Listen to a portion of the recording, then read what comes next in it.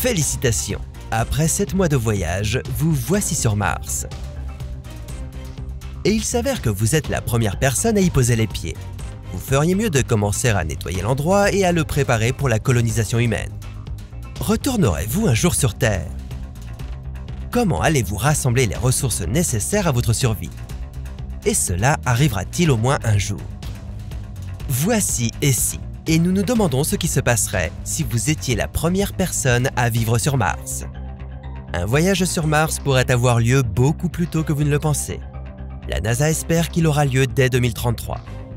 Pensez-y, la première personne sur Mars pourrait être en train de regarder cette vidéo en ce moment même. Coucou, le futur martien. Et la NASA ne sera peut-être pas la première à s'y rendre.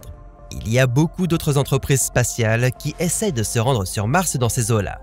Comme ce que nous avons vu dans les années 60 avec la Lune, nous assistons à une nouvelle course spatiale, mais vers la planète rouge cette fois-ci. Le plus dur fut d'y arriver. Maintenant que vous avez atterri, que se passe-t-il? Votre premier objectif sera d'établir une base, et cela ne peut pas se faire n'importe où.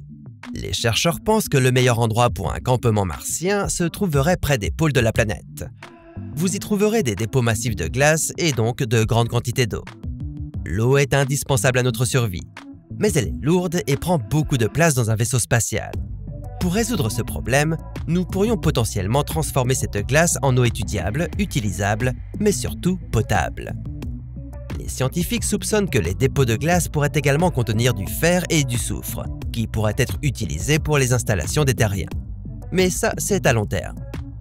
Pour l'instant, préoccupons-nous de la construction de votre base. Heureusement, vous ne la construirez pas, car les entreprises spatiales ont l'intention d'envoyer une équipe de robots sur place qui fera le boulot pour vous. Une fois que ce sera fait, vous pourrez enfin emménager. La base aura une hauteur d'environ 12 mètres et un diamètre de 5 mètres. Cela peut sembler assez spacieux.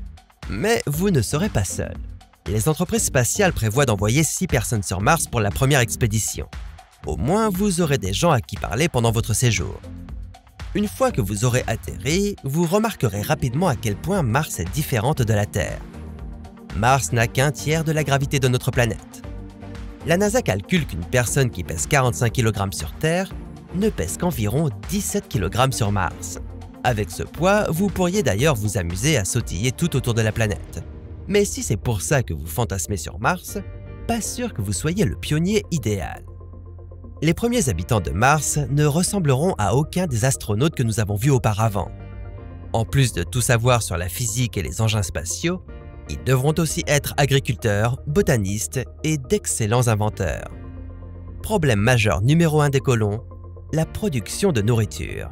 Espérons que vous aimez les légumes, car à part de la nourriture pour astronautes, c'est à peu près tout ce que vous mangerez.